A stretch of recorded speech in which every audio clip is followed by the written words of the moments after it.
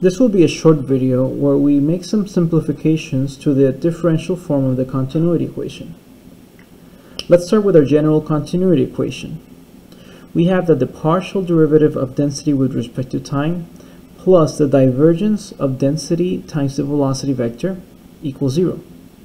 This is a general formulation that should apply to any fluid scenario.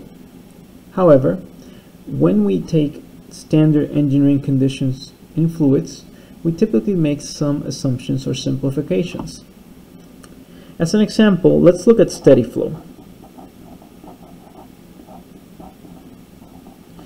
Steady flow is an assumption that requires that no fluid properties change with respect to time. That means that the derivative of any fluid property with respect to time should be equal to zero. Looking at our continuity equation, this tells us that the derivative of density with respect to time is zero. Now that means that we can simplify our continuity equation as follows. We will have that the divergence of the density times the velocity field is equal to zero. Another simplification which will be much more common for this course is incompressible flow.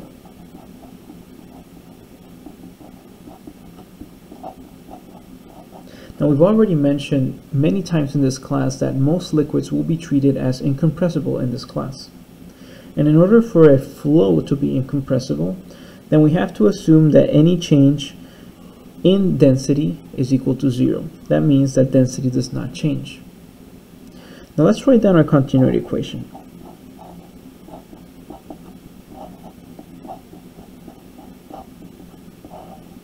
If density does not change in incompressible flow, then this term, the rate of change of density with respect to time, should be equal to zero. Furthermore, the density term inside the divergence can be treated as a constant if it doesn't change. If this density term can be treated as a constant, that means that we can take it out of the divergence term.